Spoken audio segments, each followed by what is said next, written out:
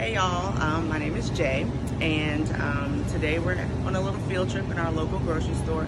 We're going to talk about how eating healthy corresponds to heart health, and I'm really, really excited because this is actually the first step in our podcast. Woo! That um, will be popping off later this month. Um, I'm with my partner. He's behind the camera. Can't see me. You'll see him soon. Mr. Malcolm. Um, and the whole premise of our podcast is bringing awareness to mental health and physical health um, within the black community. So um, we're gonna do a little trip. We're gonna talk about the importance of staying on the outside. And then next week, we're gonna take some of the ingredients that we got this week and make a whole meal out of them. So we're gonna go ahead and get started. But actually, I want Malcolm to introduce himself. So we're gonna switch it around so you know who your hosts are. So go ahead, sir. So what's up, y'all? I am Malcolm, and we're going to be doing this podcast. Um, stay tuned. Episode one, season one is coming soon. We in the grocery store. We about to do a field trip. Let's go. And just a word to the wise, I know a lot of us hear stuff, it should be organic and blah, blah, blah. There really is no difference between organic and regular vegetables. Keep that in mind. So you don't have to spend $100,000 on your vegetables as long as it's fresh. If you can't do fresh, do frozen. So we're gonna get some kale. And you wanna pick something that's nice and fresh and leafy. Yeah, this bunch looks pretty good. Yeah, nice and robust. We're gonna get a little bag over here.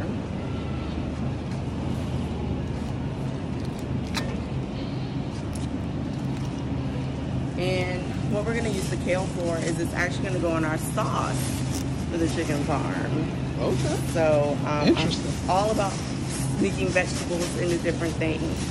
So um, we're gonna sneak some kale into what we're making. That's kale, y'all. Kale. First things first. First things first. So for our noodles, we're gonna use um, spaghetti squash, which I already have at home. Um, Let's get into it. And I know it looks intimidating, and it can be when it comes to cooking it, but um, we'll go into it next week. But spaghetti squash is actually low in carbs, and it's low in fat, and it's actually really good for you. And the awesome thing about spaghetti squash is that it'll taste like whatever you make it as. So we're gonna put a lot of flavor into it next week, but that is actually gonna be our noodle. Now, and it. looks just like spaghetti too, hence why they call it spaghetti squash. Um, a lot of grocery stores now actually sell it already cut, so all you have to do is roast it. So um, that's actually the kind that we're gonna have next week. So let's keep it moving. All the lovely fresh fruits and veggies. And... Now, onions. We know we need those Gotta have a good onion. for any Italian type meal. So I like to do a combination of a sweet onion and then just a yellow, a regular yellow white onion. It provides a really great flavor to the sauce. And guess what, y'all? We're gonna make our sauce from scratch next week. Scratch. From scratch. We're not gonna use that bottled stuff. None of that is coming fresh from our own kitchen. So with that being said, we're gonna flip it around. We need tomatoes. So there's like a gajillion and 10,000 types of tomatoes. As you can see. I like of- to use,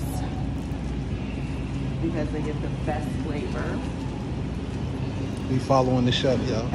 a Roma tomato. And that's because it's easier to cut Okay. and it's a little bit firmer. It has a really good um, flavor me, to it. let me feel that. Let me feel. It, it is a little firm. Not really a tomato fan, but you know. But when you dice them up real good, they're really awesome. And actually, we're only gonna use like one or two of these. The rest we're gonna use, I'm gonna show you what our secret ingredient is. So More secrets. Stay tuned.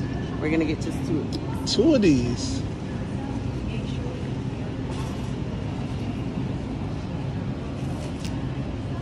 So, so y'all, are y'all paying attention? Because we dropping a lot of jewels on you. I know it's a lot. and pay attention. It is a lot. It's a lot to intake. Just, Uh, just a little bit, just a little bit, but it's, it's well worth it to uh, live a little bit longer, so to speak. And I don't know if you guys know, but you know, heart disease is the number one killer for most African Americans. So we need to work twice as hard to get our numbers lowered, twice as hard to keep them low, and twice as hard to prevent heart attack and stroke. Woo! It's a lot. It's a lot. That was a mouthful. But it's okay. It's okay. So I'm gonna show you my shortcut when it comes to garlic, Okay. because I hate peeling it and cutting it. So, this is the best product ever.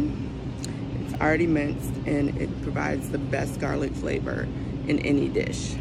So I have about two jars of this already at home. So this is what we're gonna use to provide flavor in our dish next week. Okay, y'all, y'all see that? It's minced garlic. You can From already Spice World. Spice World. You Yeah, can already get it. Already get it. So, moving on.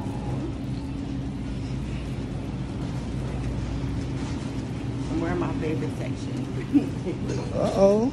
This is the, the bread section. Pastry. Pastries, anything that makes you fluffy. Yes. We might have to come back later. We're gonna have to come back. We don't want to get y'all distracted. Not from our mission today. now, I know I talked about staying on that outside, but our spices and stuff are, of course, in the middle. And I know when we talk about eating healthy, it gets overwhelming because you're like, God, it's expensive. I can't afford it. And you can't afford it. Um, we just take little shortcuts. So we're gonna go down this aisle, our canned uh, tomato aisle and our spices. Okay. And this is almost gonna wrap up our ingredients. Now, most doctors will say stay away from things that are canned, but I have found a really great brand of canned tomatoes. Um, they are diced with no salt added, and that's really, really important. And so we're gonna use these as part of our sauce next week with the fresh tomatoes.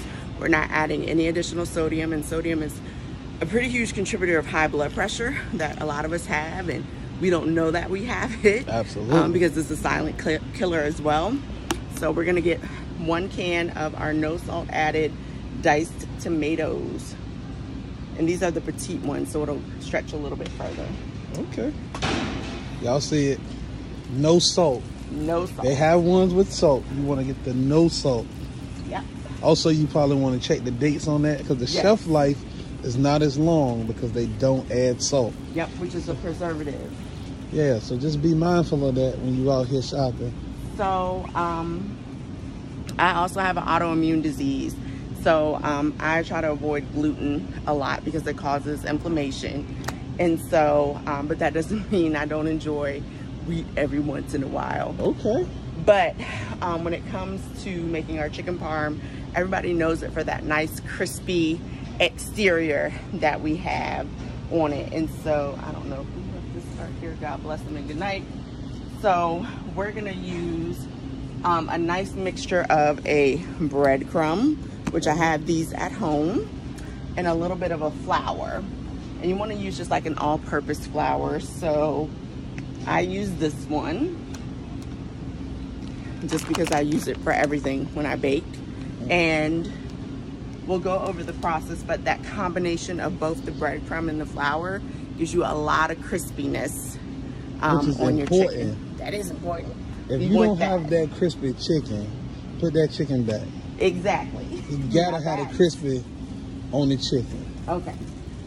This is my other favorite section. Okay. Now this is what this is what this is what I know something about right here. I like the, you know what I mean. I like the. This is where I'm at with it. Now we all love this section. You know what I mean. And it can be overwhelming, but It is because I would put all this on something. You know what I mean? I be I be all into it. Um, so you can see. um, once again, staying either minimal sodium or staying away from. But we like to use sea salt because a little bit goes a longer way. Okay. Um, So we got the, the fresh the fresh sea salt up top grinding that in the big container, which lasts a really long time. and the fresh black. You know what I mean? yeah, we want to use the black pepper. And you never had fresh cracked black pepper. Get You don't know it. what you're missing Get at all. into it. Um, we also like to use um, a little bit of the parsley flakes, Okay. um, some oregano. That's very essential. Um, paprika is a really good friend of ours. I love. Love the- And paprika gives it a nice smokiness Yes. and it really enhances the flavor. with that little, with little kick on the back end. You know what I mean? You gotta have that little. Now, little known fact in Italian cooking, rosemary is used. So we're gonna toss a little bit of that in there. I ain't know that, y'all. So, you Yeah, know. throw a little rosemary Uh-oh. there. I'm learning something. I got my, my notepad out. And then I'm trying, I don't see it. They might be out of it. But we use a little bit of basil. And um, sometimes I use fresh. Sometimes I use the dried. But it's okay to use dried seasonings. They work just as good as um, the fresh ones. Oh, is that? Yeah, that's all right. We know they exist somewhere in this paradigm. It's, it's somewhere over here. somewhere we just over can't here. find it we right can't now. find it today. But that's no, here it is right Oh, here. oh, Basil. fresh basil. There we go. Basil leaves. You see it. Get into So that. we make a little mixture of that. And you just add enough to your liking. And that's pretty much how it works. Um, that's about it for my Italian seasoning that I use. Sometimes if I want to get a little fancy, I'll use a little crushed red pepper. Okay, now, now And it just, know, now that's if you can handle a little heat. now crushed red pepper definitely setting the party off right. It does. Now we're gonna scoot down just a little bit. what we still do? The olive serves as the base of our sauce. Okay. And so we saute the onions in that before we add in the tomatoes and the garlic. So we do a really good olive oil, which I've got at home. It doesn't matter which one, just Any brand? any brand. So I use the Kroger brand. It's pretty good. My number two favorite, I would say, is the Filippo. And number three, I like the Bertolli because we're on a budget. We want to make sure everybody feels included. Okay. Now, my other secret ingredients, Now don't be out here getting the church, the church, the anointed olive oil. Now we're not now, trying to. We trying to cook. We trying Not- to cook. We ain't trying to. We ain't trying to save nobody. Okay. is um balsamic vinegar. now this got a distinct taste. a So very distinct taste. That's why we don't put a lot in there. Okay. We just put one or two dashes, but it helps to kind of thin out that sauce a little bit. all right. Um, but it also helps to heal your gut. Vinegar is really, really good for gut health. I do like vinegar. I, So we I'm a vinegar. just, just a little bit in there. I'm So, a vinegar guy, so um, you know. Word to the wise, if you're building your pantry, you want to have a little bit of red wine vinegar, a little bit of balsamic. Of course, you know your regular vinegar for everything else. Yes. apple cider vinegar and even seasoned rice wine vinegar is really good to have. Okay.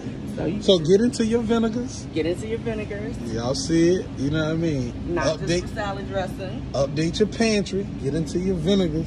Now I know y'all know what this is. All y'all pig eaters down Mhm. here. And greens. Can't if you cooking collards and you ain't got that in it. What? What that that there? What, I you want it. What are you I don't want it. Don't bring it to me. There you go. And better have some crushed red pepper in it too. Just a few. just a little bit. Just a, on that back end. Yeah. Ow.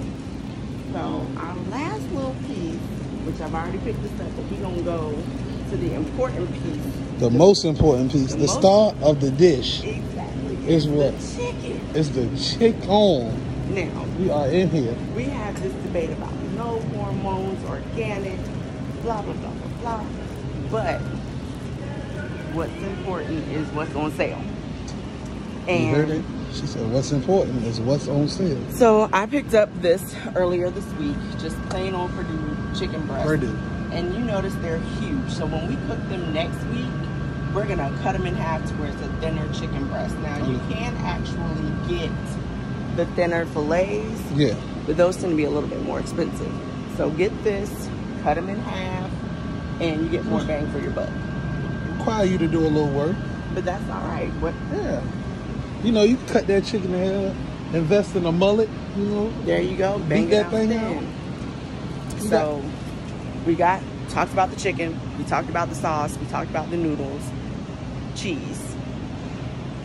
That's the last piece. Now we're gonna go over to the cheese section. Okay, And- this is gonna be interesting here. there's a lot of different varieties. Some people do Parmesan, some people do like a feta, some people do a multi-Italian blend. It really just depends on what you like. So I actually like to do a little bit of Parmesan and a little bit of feta cheese for that different bite saltiness. So we're gonna go. Now I'm gonna just say I wasn't a feta fan until I started eating Greek food. Right. And then I was like, okay, this is uh, this is new. We like the feta. Um, feta makes it better. I'm just saying, um, you gotta be open to try new things. You too. And I would say now feta, when you roast it in the oven on top of something, mm -hmm. it makes a nice little layer on top. Oh, see, now I ain't never had no roasted. And that is probably what we will do and next it, week. It is pure form. Yeah, and that is actually what we're gonna do next week with our chicken. Is we're gonna finish it off in the oven so the cheese will have that little crust. So yeah. Stay tuned for next week, y'all. Next week. It's gonna be interesting. And we're gonna have some guest stars. It's gonna some actually superstars. be like a family meal because that is the premise of our podcast. Is being at the family table and talking about issues that affect us as a culture. As a culture, pushing the culture forward one healthy meal at a time. One healthy meal at a time. So we're gonna we're gonna we're about to get into these cheeses right now. Okay. So you know the cheese section is like a whole wall. Yeah. So you got your feta. You see. Which I picked up some of that. And you want the whole fat because fat free is not gonna melt. Okay. So let, let let's let's so you see it's a like I just told y'all it's a Greek style cheese. You see mm -hmm. It's a hard cheese. It's, and that's why and actually your hard cheeses are better for you. It's not a soft cheese as you can see I'm squeezing it. It also comes crumbled. Which Already, is, so you ain't got to do the work. You ain't got to do the work. But this is the way that I had it before. Mm -hmm. But it is pretty, you know, it's tasty. It is tasty. Um, I had some. It's got a distinct flavor to it. It does. I had some feta fries. And yeah, they had feta cheese on them and oil and vinegar, which was interesting. Mm. So you know, get into your different cultures, try something new. Um, so you might go to the store and you'll see like an Italian style blend or just the Parmesan know, the mozzarella piece. Yeah, which and the mozzarella will do. That's a good melting cheese. That's typically what's on your pizza. What I picked up for next week is, and I fell in love with this. Um, it's by Sargento. It's a good melting cheese. Um, maybe it's how they shredded it, but was their aged Parmesan to put on top. Now I'm gonna tell you, I love this cheese because I love Caesar salads. So this is one of my favorite cheeses to eat. Um, and we got extra of this because we're actually going to do a side salad next week too to go with our chicken. Oh my gracious! Farm. So I love Caesar salad, and that is my favorite. One of my favorite cheeses. So I'm very excited. Um, and we're actually going to take our Caesar salad up a notch to make it a super salad. So oh. we're really excited about that. Y'all heard it here first. A super Caesar a salad. Super Caesar Never salad. had a super Caesar salad, but those are our ingredients, y'all. We're gonna do a chicken parm next week with a spaghetti squash and then a super Caesar salad next week. So if you wanna learn more about heart disease as well as our podcast, make sure you tune in next week. Da, da, da,